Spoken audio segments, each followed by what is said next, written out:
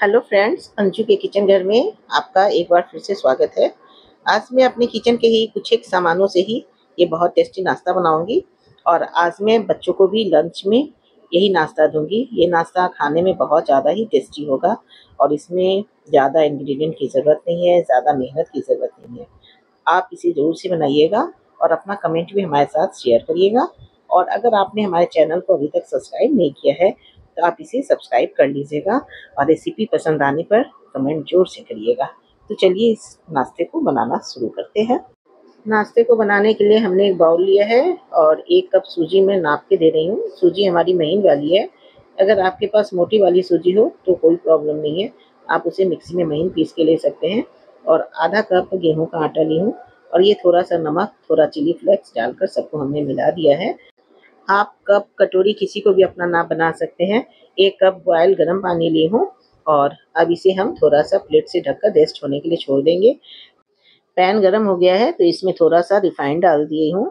ज़्यादा रिफाइंड डालने की ज़रूरत नहीं है। अब इसमें थोड़ा सा जीरा, थोड़ा अजवाइन और थोड़ा काला जीरा और ये सफ़ेद तिल हमने डाला है।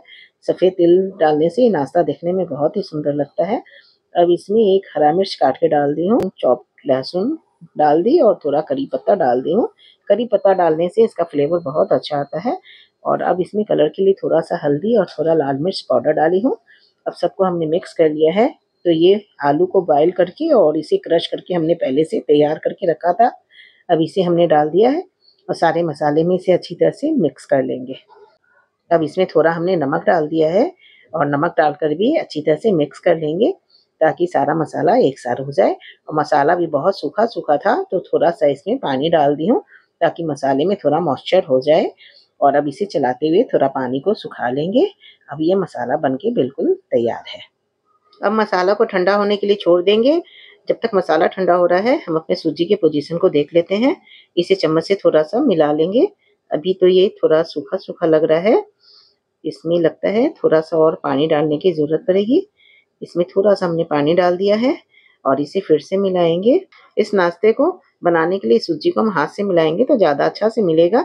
अगर आपको सूखा लगे तो थोड़ा सा पानी और डाल दीजिएगा और अगर गीला लगे तो थोड़ा सा आटा और मिक्स करके इसको तैयार कर लीजिएगा।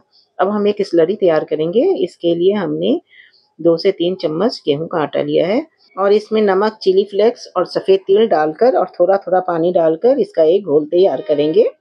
इस घोल में गांठ नहीं पड़नी चाहिए, इसलिए थोड़ा थोड़ा पानी डालकर इसका बैटर तैयार कर लेंगे। अब बैटर तैयार हो गया है तो इसमें थोड़ा सा कटा हुआ धनिया पत्ता डाल देंगे और फिर से एक बार मिक्स कर लेंगे। स्लरी बन के बिल्कुल तैयार हो गई है, इतना ही गाढ़ा हमें चाहिए। आप इस घोल को मैदा से भी बना सकते हैं, हमने गेहूँ का आटा से बनाया है। अब सूजी और गेहूँ के आटे से जो हमने ये आटा का डो तैयार किया है, इसे चेक कर लेते हैं। ये सॉफ्ट सॉफ्ट बहुत अच्छा आटा लग चुका है। अब इसके एक पोर्शन को हम लेंगे और इसे अच्छी तरह से चिकना कर लेना है। और ये थोड़ा सा हमने सूखा आटा लिया है। सूखा आटा लेकर अब इसे हमने बेलना है। सूखा आटा लगाकर बेलेंगे तो ये अच्छी तरह से बिल जाएगा और हमारा नाश्ता बहुत अच्छा बनेगा। आपको अगर ये नाश्ता अच्छा लगे तो आप प्लीज़ हमें कमेंट करके ज़रूर से बताइएगा और बेल के साथ आप सब्सक्राइब करिएगा ताकि हम जो भी वीडियो डालें, उसका नोटिफिकेशन सबसे पहले आप तक पहुँचे। इसे बड़ी सी रोटी के जैसे बेल लेना है। इसकी मोटाई इतनी होनी चाहिए। इसे बहुत ज़्यादा पतला भी हमने नहीं किया है, बहुत मोटा भी नहीं रखा है। अब इसके साइड्स को हम निकाल देंगे। ये नाश्ता बनाना बहुत इजी है। इसे आप एक बार बनाएँगे तो आपको बार बार बनाने का मन करेगा। और इसमें ज़्यादा कुछ इंग्रेडिएंट भी नहीं है, इसे हमने सूजी से बनाया और गेहूँ के आटे से ही बनाया। हमने मैदा का भी बिल्कुल यूज़ नहीं किया है। अब इसकी पट्टियाँ निकाल लेंगे। और ये जो मसाला हमने तैयार किया था, सब पर थोड़ी थोड़ी सी स्टफिंग इसकी रखेंगे। सब पे स्टफिंग हमने रख दिया है। अब एक एक को रोल कर लेंगे। और इसके साइड्स को थोड़ा सा बंद कर देंगे और दबाते हुए इसे हम अच्छी तरह से इसे बंद कर देंगे और दोनों हथेलियों के बीच में इसे दबाकर चपटा कर देंगे। इसी तरह से हम सारा नाश्ता को तैयार कर लेंगे। सारे नाश्ते को हमने तैयार कर लिया है। बहुत अच्छे से ये तैयार हो गया है। अब ये स्लरी लेंगे, इसे एक बार फिर से चला लेंगे, क्योंकि जब इसे छोड़ देते हैं तो ये नीचे बैठ जाता है। जब भी नाश्ता तैयार करेंगे तो इसे एक बार चलाना ज़रूरी हो जाता है। और तेल को हमने गर्म होने पहले से ही रख दिया था। तेल गर्म हो गया है तो इसमें एक एक करके सारे नाश्ते को डालेंगे।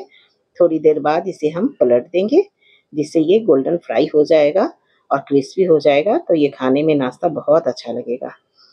आप इसे बच्चों के लंच में भी दीजिएगा, वो बहुत शौक से खाएँगे। कभी पिकनिक पे भी इसे आप ले जा सकते हैं। अब ये सर्व करने के लिए बिल्कुल तैयार हो गया है। देखिए, ये कितना अच्छा है। इसे आप सॉस या चटनी किसी के भी साथ खाइए, खाने में मज़ा आ जाएगा। चलिए फिर मिलते हैं। Thank you.